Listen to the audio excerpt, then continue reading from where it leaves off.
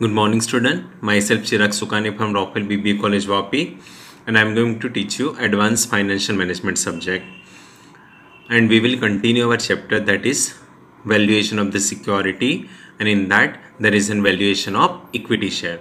So today in this session we will discuss the method number 2.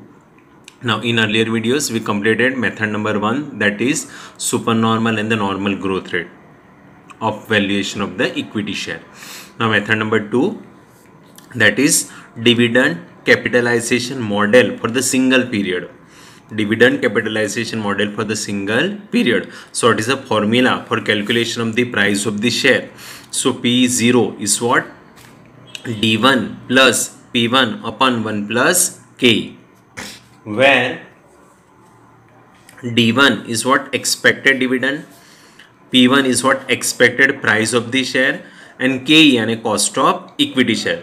In short, in sum, when the div expected dividend is given, expected price of the share is given, then we have to use this formula for the calculation of the price of the share. आया समझ में so P zero is what D one plus P one upon one plus K now if D one is not given यानी in some of the cases where expected dividend is not given D one directly is not given then and current dividend is given so we have to use this formula that is D one is what D zero one plus zero two N जो already हम लोग ने सीख लिया है। कि expected dividend is what current dividend one plus zero two N where D zero is what current dividend G is what growth rate आया समझ में? सो so, जब आपको एक्सपेक्टेड डिविडेंड नहीं दिया होगा एंड करंट डिविडेंड दिया होगा तो वो केसेस में आपको एक्सपेक्टेड डिविडेंड कैसे फाइंड आउट करना है? Current dividend one plus zero two N आया समझ में?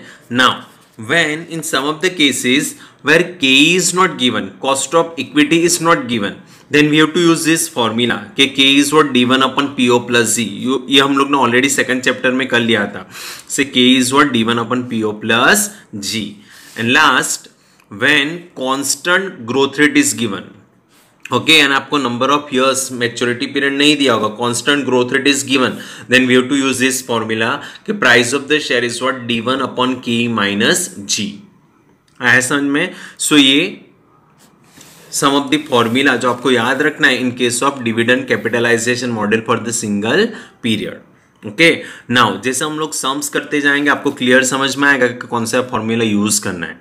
एक्चुअली इंफॉर्मेशन के अकॉर्डिंगली आपको फॉर्मूला यूज़ करना है in case of in case of calculation of the valuation of the equity share clear चलो फ़र्स्ट सम मैंने आपको क्वेश्चन ऑलरेडी सेंड कर दिया है। चलो first some X limited is expected to provide a dividend of rupees two देखो expected expected to provide a dividend that is what expected dividend given one of rupees 2 next year and the expected price of the share is rupees 18 what is present value of the share if required rate of return is 12 percentage तो ये sums में क्या क्या information दिया आपको brief में लिखना है। No X limited is expected to provide dividend of rupees two expected dividend that is what D one is given two then expected price of the share is 18 expected price यानी P one eighteen okay what is present value of the share यानी PO क्या होगा? If require rate of return is 12% percent require rate of return it is what K E K is what twelve percentage. Now d1 p1 and K is given so first वाला ही आपका formula use हो जाएगा. So p0 is what? D1 plus p1 upon 1 plus ke okay directly so D one क्या होगा? Two plus P one eighteen divided by one plus K यानी zero point twelve clear so twenty divided by one point twelve so आपका answer आएगा rupees 17.86 आया sir में? ना, ये छोटे छोटे सम से जो आपको टू मार्क्स में आने के चांसेस है। क्लियर चलो answer number two find out price of the share if expected dividend is rupees two expected value of the share is 15 and the k is वो 10 परसेंटेज सो यहाँ पे तो directly दे दिया expected dividend is rupees two यानी D one two expected value of the share is fifteen value of the share यानी price expected price 15 and k ten percentage so what is price of the share okay so price of the share again D one and D one and P one is given ना तो directly ये formula use करना D one upon D one plus P one upon one plus k so D one कितना है? Two P one fifteen 1 plus k 0.10 so 15 plus 2 17 divided by 1.1 that is what? Rupees 15.45 आया समझ में? चलो answer number three if current dividend on equity share is rupees three current dividend that is what D zero current dividend which is expected to grow at 5 percentage grow यानी G 5 percentage for 5 years यानी N 5 years and expected value of the share is rupees 20 expected value यानी P1 20 what is price of the share if K is 10 percentage now अभी आप देखो current price is given D0 growth rate is given number of year is given and expected value is also given and k is also given. So again आपका कौन सा formula use होगा? D1 plus P one upon one plus k ही होगा। But देखो यहाँ पे आपको directly d1 is not given so हम लोग पहले d1 फाइंड आउट करेंगे। सो so, d1 का फॉर्मूला क्या होगा? D0 1 plus g raise to n है ना? सो करंट डिविडेंड कितना है? Three one plus growth rate zero point zero five for five years okay now three one plus zero point five यानी one point zero five raise to five now three का three रहेगा now अभी आपको क्या करना है one point zero five raise to five यानी five time one point zero five into one point zero five करना है so one point zero five into one point zero five into one point zero five into one point zero five into one point zero five five time that is one point twenty eight okay into three कर देना है। So so, आपका answer D one क्या आया? Three point eighty three clear so D one is what three point eighty three P one तो directly दे दिया है twenty divided by one plus k zero point ten okay तो यहाँ पे क्या होगा? Twenty three point eighty three divided by one point one okay so आपका आंसर क्या आएगा? 23.83 divided by 1.1 so price of the share is what rupees 21.66 समझ में आ रहा है? चलो next fourth number sum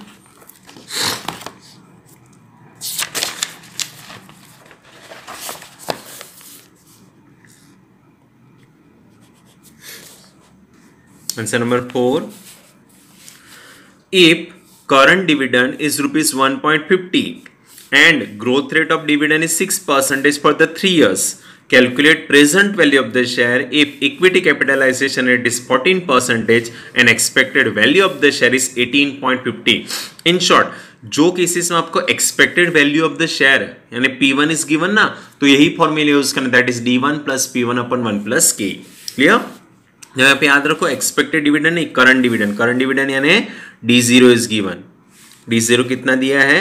1.50 growth rate in dividend g six percentage n three years value of the share calculate करना है इफ़ द इक्विटी कैपिटलाइजेशन की fourteen percentage है. ओके एंड पी वन कितना है? Expected price eighteen point fifty है. आ रहा है समझ में? सो so, फॉर्मूला क्या होगा? P zero is what D one plus P one upon one plus k but आपको करंट डिविडेंड दिया है सो डी वन कैसे फाइंड आउट होगा? D zero one plus g raise to n से. So D zero कितना है? One point fifty one का one growth rate six percentage यानी zero point zero six for three years so n three so one point fifty का one point fifty one 0.1 plus 0.06 and 1.06 raised to 3 so one point fifty का one point fifty रहेगा। ना, अभी आपको क्या करना है?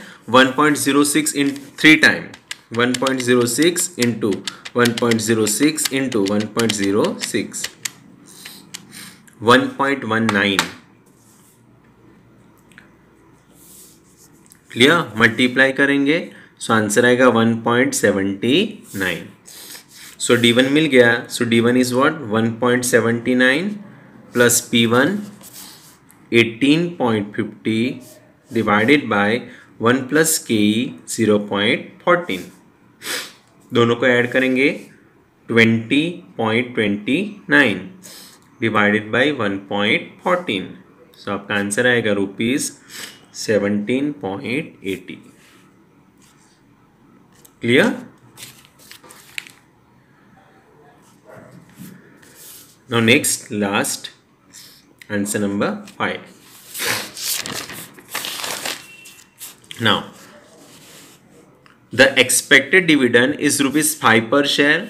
The share is currently selling at rupees 25 per share if the constant growth rate is 5 percentage what is cost of equity cost of equity यानी के ही पूछा है चलो इंफॉर्मेशन क्या दिया the expected dividend is rupees 5 per share expected dividend is what expected dividend it is called as what d1 so d1 is what 5 the share is currently selling at rupees 25 per share current price so p0 25 is given and constant growth rate g 5 percentage so what is cost of equity यानी आपको K ही पूछा है कि cost of equity क्या होगा।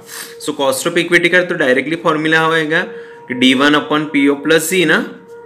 सो D one कितना है? Five P O twenty five growth rate zero point zero five five divided by twenty five क्या होगा? That is zero point two plus zero point zero five that is zero point twenty five उसका मतलब क्या हुआ कि twenty five percentage है समझ में कैसे करना है? तो ये बेस्ड ऑन द इंफॉर्मेशन आपको सम्स कैलकुलेट करते जाना है. क्लियर ना बाय टेक केयर हम लोग next sum next sum in next video करेंगे.